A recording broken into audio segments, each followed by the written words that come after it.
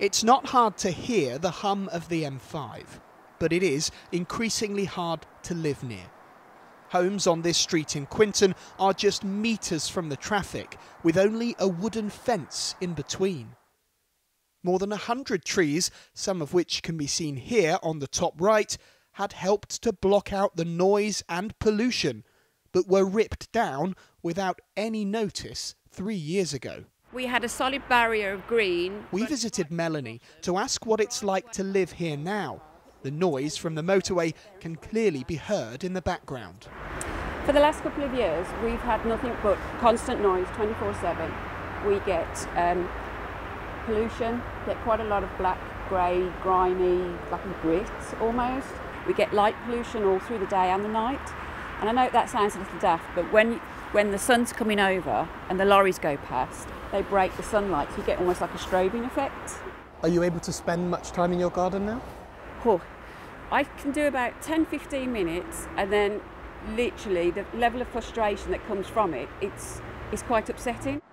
The trees were taken down by the National Grid with the green light from Highways England, which said it was part of essential safety work because of the nearby pylons and passing traffic.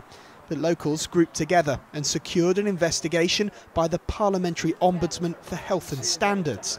It's expected to produce its findings next week. If you are inspecting 60 trees and you find six only need to be removed, you shouldn't therefore then fell 100 trees because you needed to remove six. So we want to make sure that the Parliamentary Ombudsman can understand the impact that this decision by Highways England and National Grid has had on residents here and at the very least will say that what was there previously needs to be replaced but also a noise reduction barrier.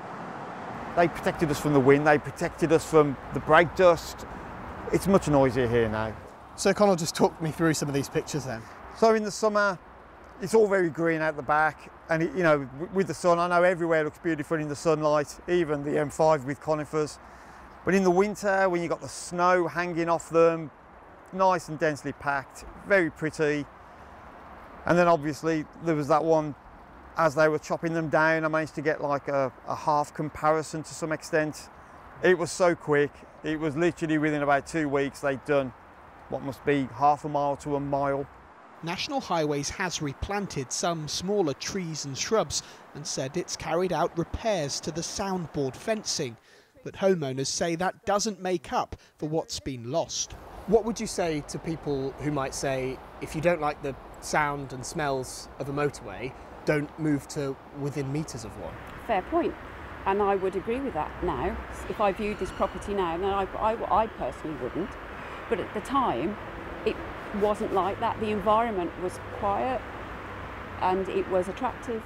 The constant hum won't go away, but the noise residents have made about an issue that couldn't be closer to home might now deliver the action they've waited years for. Lewis Warner, ITV News, Birmingham.